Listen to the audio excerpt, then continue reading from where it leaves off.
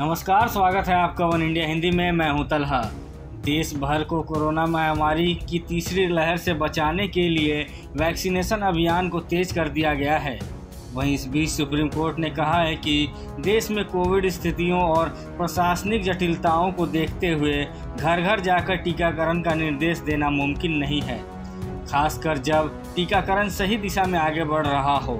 Justice D Y Chandrachud, justice Vikram Nath और justice Hema Kohli की पीठ ने डोर टू डोर वैक्सीनेशन समेत एक दूसरी जनहित याचिका पर विचार करने से इनकार कर दिया, जिसमें हर एक कोविड की मौत के मामले में परिजनों के लिए मुआवजे की मांग की गई थी। ये मांग इलाज में लापरवाही के आधार बनाते हुए की गई थी।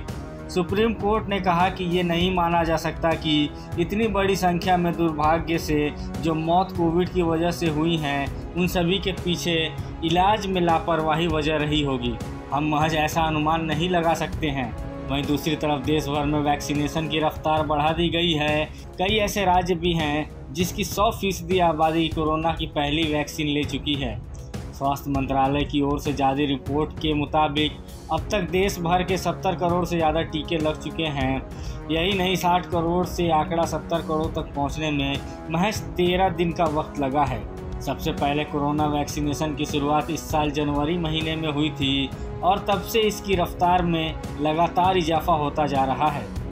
पहले 10 करोड़ वैक्सीन लगाने में जहाँ पचासी दिन का वक्त लगा था वहीं ये आंकड़ा 10 से 20 करोड़ तक पहुँचने में सिर्फ़ 45 दिन लगे थे। उसके बाद से लगातार कोरोना वैक्सीन की रफ्तार में इजाफा देखने को मिला। 20 से 30 करोड़ डोज 29 दिन में और फिर अगले 34 दिनों में ये आंकड़ा 40 करोड़ तक पहुँच गया था।